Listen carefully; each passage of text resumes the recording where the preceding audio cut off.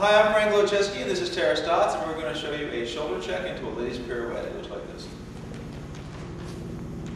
One, two, three, and four, five, six, one, two, three, up, four, five, six, seven, and.